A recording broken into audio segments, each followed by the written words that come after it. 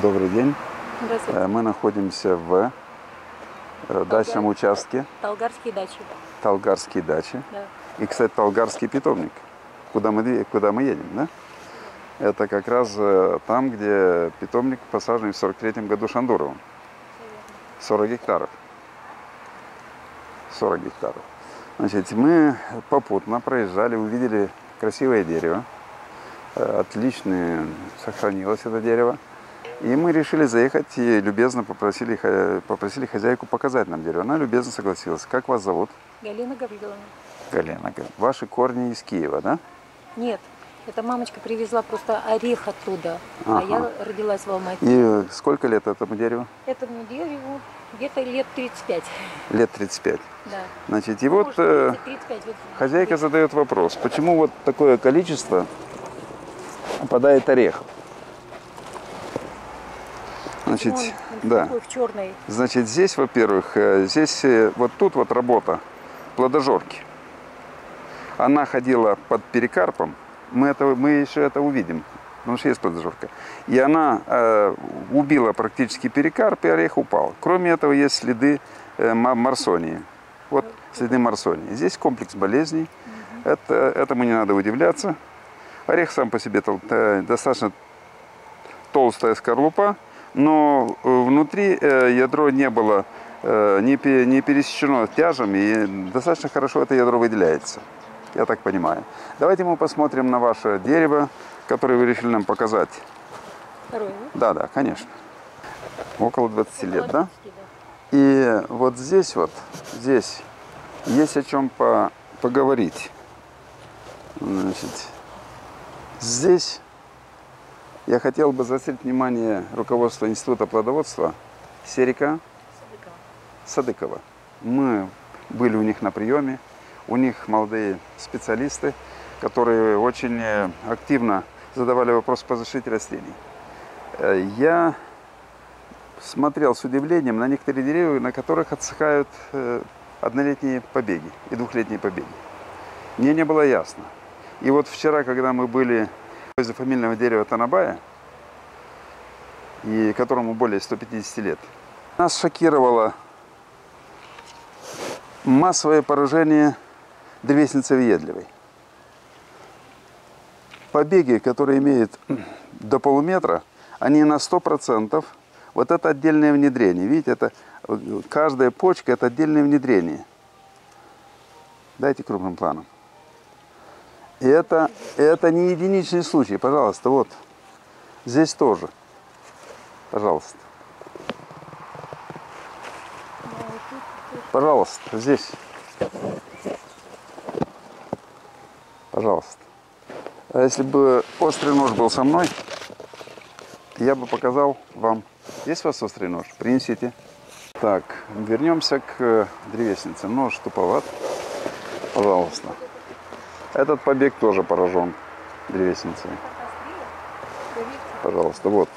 Здесь внедрение, здесь внедрение. Вот здесь. Попытаемся здесь его разыскать. Так, сейчас мы попытаемся разыскать.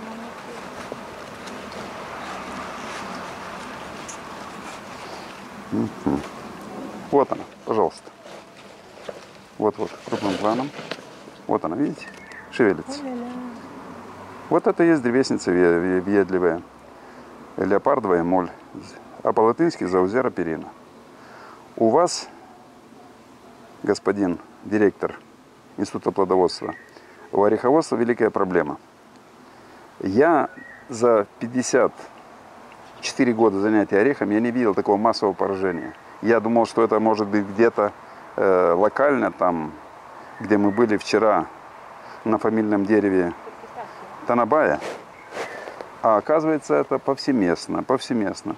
И это приводит к тому, что однолетний прирост и плодовые почки в первую очередь поражается. Вот она. Можно взять зум. Да, вот, пожалуйста. Вот она. Видите, она передвигается. Иногда опрыскиваешь, а И тут вариант, э, тут вариант.